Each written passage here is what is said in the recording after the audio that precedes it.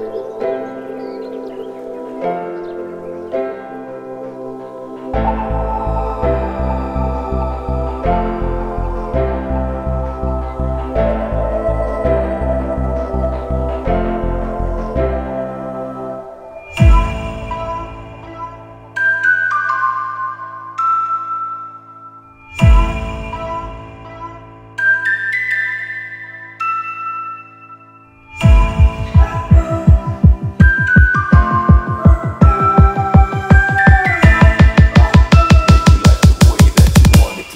There is a reason we can do